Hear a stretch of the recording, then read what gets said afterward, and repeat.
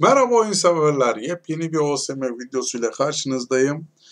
Ee, bugün arkadaşlar malum şöyle geleyim. Bu arada beni ilk defa izliyorsanız Hamza Yaz YouTube kanalıma abone olmayı unutmayın. Like atmaları unutmayın. Ne kadar like, ne kadar abone o kadar kanalımız daha da yükseklere çıkacak. Bu arada 2560 arkadaşımız olmuş. Hepinize takip ettiğiniz için, değer verdiğiniz için seven sevmeyen herkese takip ettikleri için, değer verdikleri için, vermedikleri için bile teşekkür ederim. Beraber yükselişe devam ediyoruz. Ee, bu arada videolarda biraz düşüş var demişler ama bence burada e, hoşunuza giden gitmeyen şeyler var. Mesela e, PUBG videolarını yani bence güzel içerikler var PUBG olarak ama beğenen var, beğenmeyen var. E, burada kariyerlerle ilgili videolar var. FIFA 2021 var mesela. Hani tamam e, taktik videoları falan daha çok izleniyor ama bunlar da bence en azından adım adım daha da yükseliyor. Ben bunun farkındayım. İzlenme dakikaları falan gayet güzel. E, ben bunları farkındayım. Gayet de güzel içerik üretmeye devam edeceğim inşallah. Şimdi e, videomuza ve asıl konumuza gelelim. Bugün taktiğimiz arkadaşlar 4-2-3-1. Özellikle çok isteyen arkadaşlar oldu. Ben e, yan yan şeylerinde, çarlarımda falan baya güzel verim aldım. E, yani deneyerek 10 maç, 11 maç bunları deneyerek verim alarak sizlere sunuyorum. Verim almadığım bir şey zaten ne sunarım, ne kullanırım. Hani birilerinden dolma şeyle hani çok güvendiğim bir arkadaşım olursa al şunu kullan der, derse kullanırım ama öbür türlü çok zor yani. Birinden taktik alıp da şey yapmak, kullanmak. Şimdi demiştik 4-2-3-1 diye zaten 4-2-3-1'e gelirsek bu arada arkadaşlar da arıyorlar sağ olsunlar. Teşekkür ederim. Canlı yayına bekliyorlar. Malum saat 9'a geliyor. Bu arada her gün Facebook Game, e, Facebook Hamza Yaz Gaming sayfamızda canlı yayınımız var. PUBG e, canlı yayınlarımız. Sizlere de bekleriz desteklerinizi. Arkadaşlar burada 4-2-3-1'de neyse ben bir dizilim yapayım. Siz de anlatacağım bunları. Şöyle gelelim. Ee, Rice kimi Avar hatta Avar'ı şöyle yapabiliriz. Bu itmanda olduğu... Aa itmanda değilmiş ya buradaymış. O zaman seni şöyle alalım kardeş. Seni de şöyle çekeceğiz mecbur. Ya da şöyle bir bakalım. Hücumu daha yüksek. Bir rank fazla da etkilemez ya bence. Atla da deve değil be kardeş. Şimdi burada kanat var, kanat defanslarımızı, cartımızı, curtumuzu ayarlayalım. Kaleye de bunu koyduk. Şimdi neyi, neye koymalıyız, nereye koymalıyız onu anlatacağım. Arkadaşlar 4-2-3-1'de yani aslında şöyle söyleyeyim. Kaleyi görünce vur taktiklerine mutlaka forvete kanat forvet koyun. E, fırsatçı golcüler emin olun, emin olun %10, %15 fayda sağlıyor. Sahte 9 %20, %25 fayda sağlıyor. Kanat forvetler bu taktikle daha çok uyumlu e, %71 bir verim var. Cidden deneyin siz de fark edeceksiniz. Özellikle kendim denedim ki OSM'de e, tecrübeli kardeşlerimiz, abilerimiz daha iyi bilirler. Bu kanat forvet, kaleyi görünce vurdaki uç forvete kanat forveti kesinlikle koyun. Orta sahamızda 4-2-3-1'de gördüğünüz gibi şu iki tanesi defansı en yüksek yani defansif orta sahalarınız olacak. Ona ne göre bakıyoruz? Defansı en yüksek 92-91 öbürle 80 dersek gördüğünüz gibi bu yani fazla da beyin yormaya gerek yok. Defansı en yüksek olanları geri ikiliye koyduk. Ee, burada bu ikisinin olmasının nedeni orta sahada direnci arttırmak. Orta sahamızda gördüğünüz gibi bu adam zaten her yerde oynadığı için, iki yönlü bir oyuncu olduğu için e, hem defansif hem ofansif olarak kullanabiliriz. Ben bunu ofansif olarak kullandım. Hücum gücü en yüksek şu an bu oyuncum var. E, buraya da gördüğünüz gibi hücumu en yüksek oyuncuları seçerek koyduk. Diyelim ki çok önemli bir maçınız var rakip sizi aşırı şekilde zorlayacak bir şekilde ise mecbursanız 4-5-1 ya da 4-2-3-1 ama sizin elinizde 4 tane orta sahanız varsa arkadaşlar buraya forvetin tam arkasına gelecek şekilde bir kanat forvetinizi daha burada şu an yokmuş ama bir kanat forvetinizi daha buraya koyabilirsiniz. Ama tavsiye etmiyorum. Zoraki nedenlerde verim sağlıyor ama Dediğim gibi zoraki nedenleri. Elinizde geldiğince 5 tane eğer 4-5-1 ya da 4-2-3-1 taktiğini bir gün kullanacaksınız. 5 orta saha bulundurmalısın arkadaşım. Yoksa karalar bağlarsın. Burada gelelim e, defans kısmına. Gördüğünüz gibi hücumu en yüksek gördüğünüz gibi 4 oyuncudan hücumu en yüksekleri kanatlara verdik. Defansı en yüksek olanlar da artık burada orta sahaya koyduk. Hücumu yüksek ama defansı yüksekse gene onları hücum bek olarak kullanacağız. Buraya defans hücumu en düşük olan 4 oyuncudan ikisini göbeğe koyacağız. Unutmayın bunu. Yani yüksek defansı ama yüksek hücumu varsa bunu ortaya çekme gerek yok. O daha burada daha verimli. Burada daha verimli. Kalemizi zaten söylemeye gerek yok. Şimdi ince ayarına gidelim. Burada kullanmamız gereken 4-2-3-1 bildin. Kaleyi görünce vur.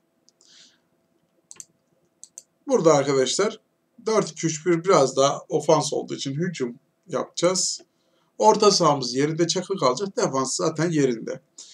Alan markajı yapacağız. Lütfen adam markajı yapma. Bak adam markajlarından 20 adamdan biri kazanıyordur. Bir kere ballandıra ballandıra anlatıyorlar. İnanmayın. Bak adam markajı kadar e, zararlı bir şey yok bu oyunda. Bu bir yazılım. Bu e, FIFA gibi elle e, Facebook bak kafam karıştı. Facebook Gaming tabiri canlı yayın yaklaştı ya. E, PUBG gibi elinizle rahatlıkla yani kullan, kendiniz müdahale edeceğiniz bir şey değil. Bu yazılım. Yazılımda adam markacı kullanmam. Tavsiyem. Gerisi sana kalmış. Offside tuzağı kapalı olacak arkadaşım. Şimdi gelelim buraya. İlk defa başlayanlar için anlatıyorum. Burayı profesyonel menajerler lütfen kulaklarını kapatsın. Siz sevmiyorsunuz bunları. Ee, mavi ile yeşil olursa hakemimiz agresif. Sarı olursa e, önemli bir maçınsa senin için agresif çık. Ama normal bir lig maçı ise bunu normal yap. Çünkü e, sarı kartta ne yazık ki yüzde 50 60 kırmızı kart yeme şansın var. Ben çok yedim. Çok başım ağrıdı. Bazıları inanın var ya yapıyor bir kere bile yemiyor. Adam kıpkırmızı hakemde bile agresif çıkıyor ya şaka gibi. Mesela dün e, yorumlarda var arkadaşlar tartışıyorlar arasında. Sen nasıl kıpkırmızı hakeme çok agresif çıktın diye. Kırmızı kart yedim ya diyor ama 87'de yemiş. 87'de yiyene kadar o adamlardan verim almış. Ya 87'den sonra da maç 6-7 tane olacak hali yok. Yani dediğim gibi sarıysa, maç önemliyse bunu biraz riske atarak agresif oyna.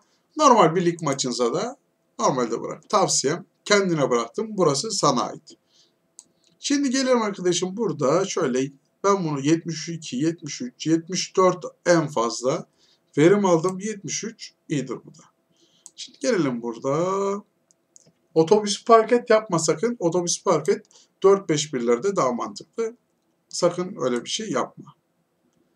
Burada yine bir top hakimiyetimiz olacak. 56 kullanmıştım. Evet. 73, 33, 56. Bunu sesli söylememin sebebi de siz biliyorsunuz abonelerimden bazıları şey yapmama, açıklamama gerek yok. 73, baskısı 73, stili e, 33, temposu da 56 arkadaşım. Bu da sizin notlarınız arasına geçsin. Kale görünce vur taktiği, forvet sabit, orta saha sabit, defans yerinde kal. Bunlar sizin içindi. Tekrardan okudum. İlginiz alakanız için de cidden sağlık durumlarınızdan dolayı teşekkür ederim. Hani takip ediyorsunuz, dinliyorsunuz, sorular soruyorsunuz. Elimden geldiğince zaten sizlere yardımcı olmaya çalışıyorum. Bazen atlayabiliyorum buraları maalesef. Kusura bakmayın. Tekrardan üstünden geç, geçtim. Abonelerime bu konularda bir atlarsam özür dilerim yani. Sizi unutmuyorum emin olun ama bir anda buraya çıkınca da sizin karşınıza gelince de insan ister istemez heyecan yapıyor. Ne kadar tecrübeli olursan ol. Ne kadar e, nasıl söyleyeyim yıllarca YouTuber'lıkta yapsan şu kamera karşısında izlenmek cidden biraz heyecan uyandırıyor. Bazıları takoz gibi onlara şey demiyorum yani. Onlar artık hani bu işin neyse küçük kullanıcılarımız var. Değişik şeyler kullanmayalım.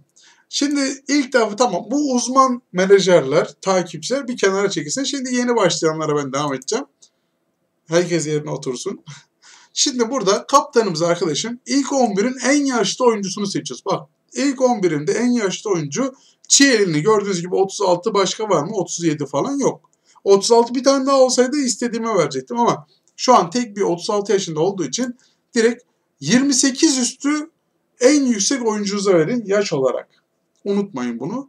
Ee, tutup da bu fon yedekte 40 e, benim 40'lık bu fon vardı işte o, o yok diye tuttum atıyorum e, Lanzini'ye verdim. Olmaz. İlk 11'indeki en yaşlı onu unut. Dışarıdakileri unut. İlk 11'inde en yaşlı oyuncuna vereceksin arkadaşım. Verim almak istiyorsan buralar böyle canlı yayın için habere şeyler gelmeye başladı. Arkadaşlarım bekliyor sağ olsun. 1453 ekibine de buradan selamlar olsun. Şimdi burada gördüğünüz gibi e, bir oyuncuya iki görev ver. Üçüncüyü verme. Üçüncüyü verdi mi oyuncu bocalıyor ve verim alamıyorsun. Burada 1-0 atarsın bir free bir penaltıdan 3 puan alırsın. Bir free kick atarsın 3 puan alırsın. Bir kornerden gol atarsın 1 gol. 1-0 yenersin 3 puan alırsın. O yüzden uzmanlar bu işin püf noktalarından bir tanesi. Yapmak zorundasın arkadaşım. O maç sonunda uyarıları görme. Uyarıları görmemen demek senin bunu başarıyla bu uzman kısmını yaptığını göstergesidir. Burada şimdi neden orta sahama değil de forvetime vurdum. Çünkü ben orta sahama iki tane görev vermek istemiyorum. Çünkü benim orta saham forvetimden güçlü. O yüzden penaltıyı buna verdim.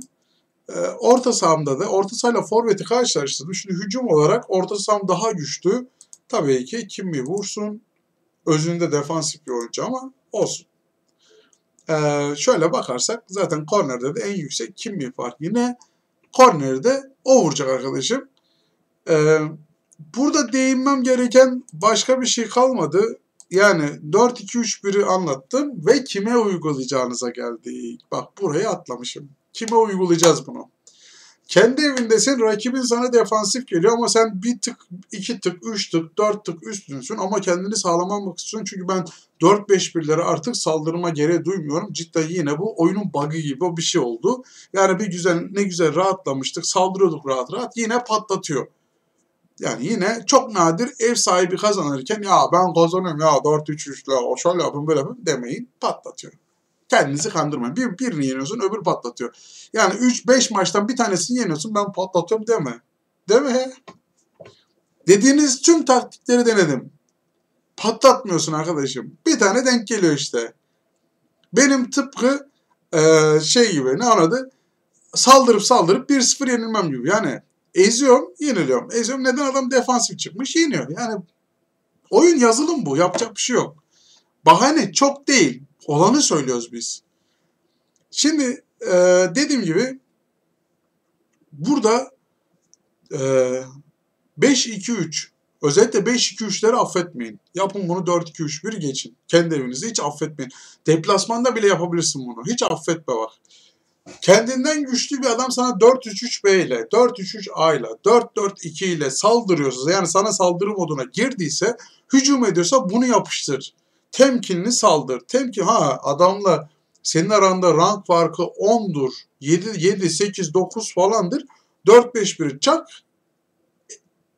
Neydi? Çikolatanın ekmeğine sür. Çayını al. Maçını izle. Mısır yeme. Mısır göbek yapar. Çikolata da yapar ama mısır daha felaket. mısır patlat diye demeyeceğim. Ee,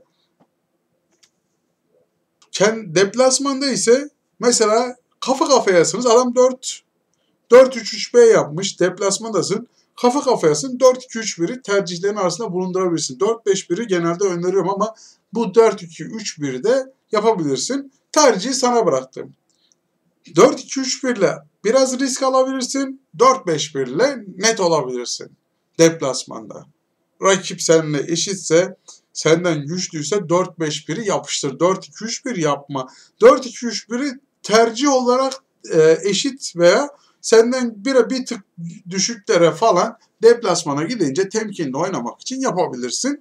Emin ol faydasını da göreceksin arkadaşım. Ee, şimdi arkadaşlar galiba beni bekliyorlar büyük ihtimalle. Bugünkü videomuzun sonuna geldik. Arkadaşlar yayını büyük ihtimalle siz birazdan bunu izleyeceksiniz. Ee, sizleri canlı yayına Facebook'a bekliyorum. Hepinizin desteklerine ihtiyacım var. Görüşmek üzere.